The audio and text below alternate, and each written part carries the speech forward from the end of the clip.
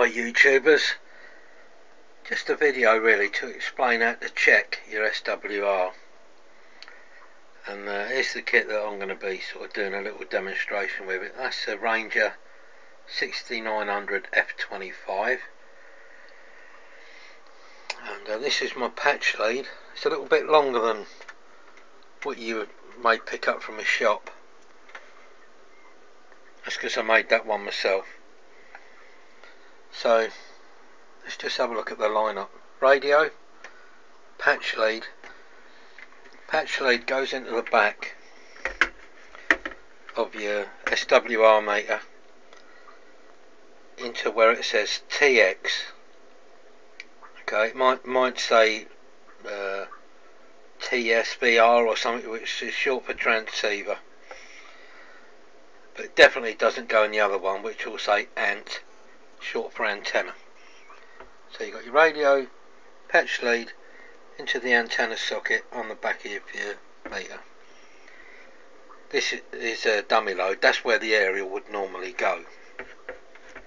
Okay, so what you need to do, find a clear frequency. I'm not sure how well you're going to see this, but you put your SWR meter into the CAL mode or position it might say set or something similar. So right we're in this uh, calibrate position. Key the mic and adjust the, the um, needle on your, your meter till it goes to where it'll either say set or or CAL, short for calibrate. Okay, D key then you put your meter into SWR mode. On my on my one, it's not particularly clear, but trust me, I'm in SWR at the moment.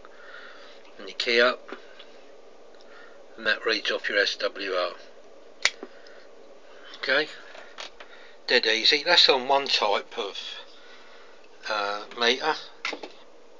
That one is basically a like an amateur radio style uh, meter. I'll just pause for a minute and I'll put my other meter in line to show you that. Right, okay, we're back in business. This is more of a CB style uh, SWR meter or as CBs call them, SWR meters.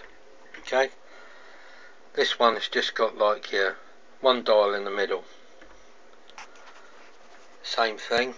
Patch lead goes into on this one it says XMTR and then the other end it says ANT short for antenna. It's easy to work out.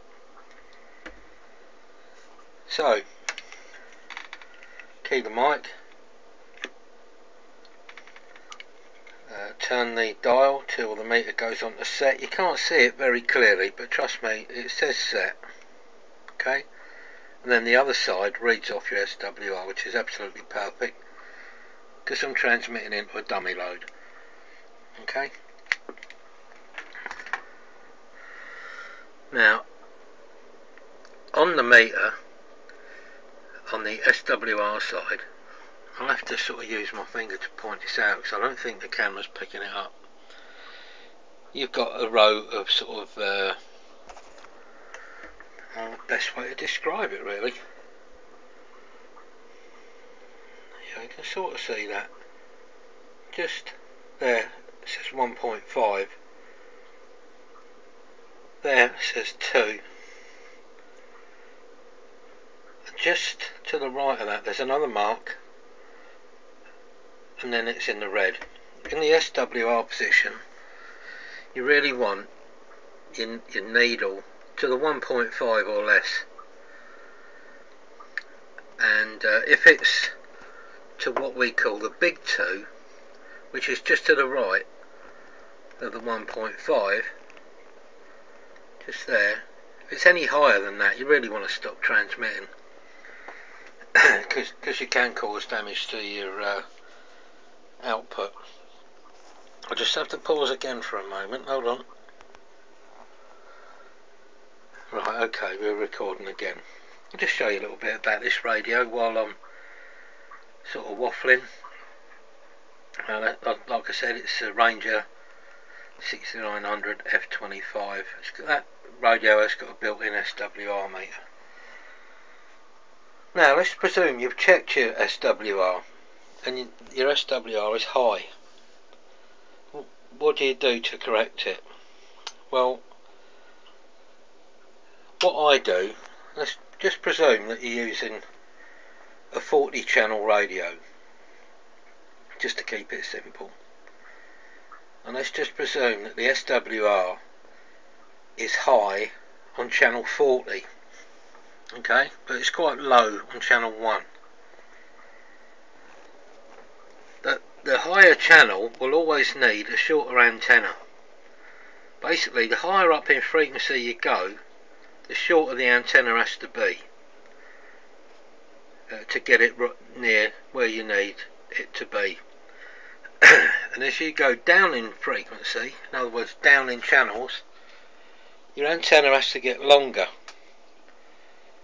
so if you've got a high SWR on your higher frequency, you need to shorten your antenna. And if it's high on the lower frequency, you have to lengthen it. Now the aim of the game is is to adjust your antenna so the SWR is about the same on channel 1 and channel 40 and then anywhere in between will be about the same that's it, it's pretty simple really. Excuse me, I've got a bit of a dry throat here.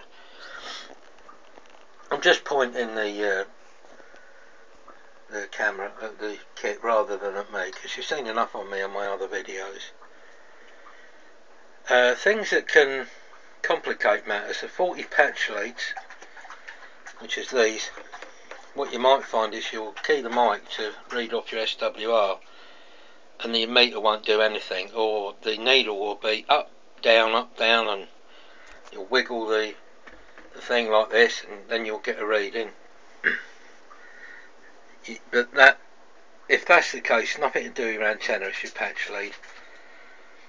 And the same if it's uh, let's just say you've got this lead coming out of this side going to your antenna when you key up your needle on your meter sort of flicking to and fro, you know, as you wiggle it. In that case, you'll have to desolder the plug and uh, re refit it basically. I'm not going to explain how to do that at the moment. Uh, maybe that's uh, another video. So that's something uh, worth considering. And you can also have 40 meters, and what normally tends to be 40 is the switches. I don't think any of these have got a switch like it. I mean this one's got a dial. That's given me very little uh, trouble and I've had that meter probably 20 years. But some of the others were like the switch up and down type. Or especially the ones that uh, slide like this, you know, uh, be S uh, forward SWR. That type of one that goes like that, they're renowned for playing up, especially if the meter's old. It's worth taking the, the top off, which is normally held on by a couple of screws. Spray a bit of switch cleaner on the back of the switch, that will sort that. Uh, now let's presume that you're trying to tune in a mobile antenna. Alright. and you can't do nothing with your SWR no matter what you do. What you can do is try the antenna in a different place. Now if you're putting it on a truck and you've got say a mag mount on the roof, what will happen if the mag mount is too close to uh, the box, if you're in a rigid, it will interreact the aerial will interact with the box. So try and get the mag mount further away from the box so it's sort of standing uh, further from any metal obstructions if you like because what that does it gives the antenna or the, or the rig the feeling that the aerial is way too long. And you may find yourself chopping bits off to try and get it right. But then if you want to put that mag mount on another truck you chop too much off you won't be able to tune it in.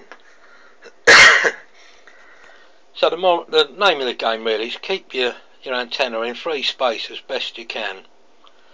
Whether it be on a mirror mount or on top of the cab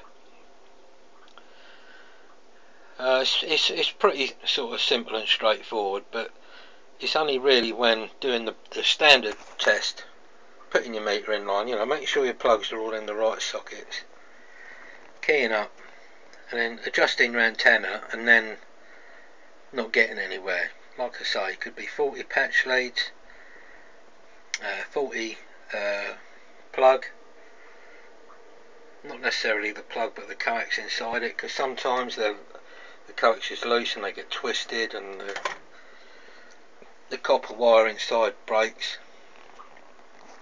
but uh, that's sort of a little bit more in depth. This video really is just to, to explain the, the, the very basics, just to get you going sort of thing. But if you do have any problems and, uh, and you've watched this video and you're still not sure, uh, just leave a comment and every time someone leaves a comment I'll get a message through to my mobile phone if I'm near the PC I'll sort of come back and try and help you. But uh, that's about it for now. Just a short and sweet, very basic, you know, how to check your SWR. That's my old power supply, you can hear it's got a fan running.